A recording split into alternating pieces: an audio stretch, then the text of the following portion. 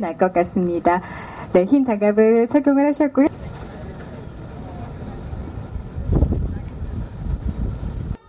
셋! 농림축산검역본부 김차원 신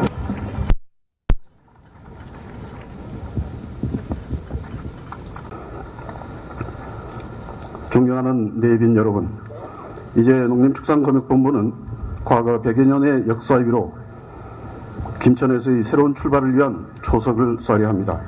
우리 검역본부는 혁신도시 이전을 계기로 과거 안양청사 시대에 부족하고 미진하였던 부분을 과감히 떨쳐버리고 김천에서 능동적이고 주도적으로 새로운 시대를 열어가겠습니다.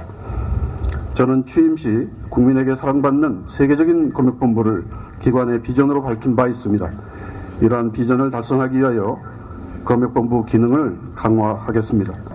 소비자에게는 안전하고 생산자는 만족하는 뉴웨이브, 즉 새로운 트렌드 및 물결을 선도하는 검역 방역 기관이 되도록 하겠습니다. 마지막으로 소통입니다. 원활한 대국민 소통으로 농업 및 축산인 등 고객 중심의 봉사기관을 지향하겠습니다. 국가는 국민이라는 고객을 위해 존재하고 고객이 원하는 바를 위해 일하는 것이 존재의 의미자 가치라는 것을 명심하고 새 출발하겠습니다. 검역본부장으로서 현장의 목소리를 가감없이 청취하여 이해하고 소통하고 현장에서 원하는 각종 기술 및 정책이 개발될 수 있도록 각별한 관심과 노력을 기울여 나가겠습니다.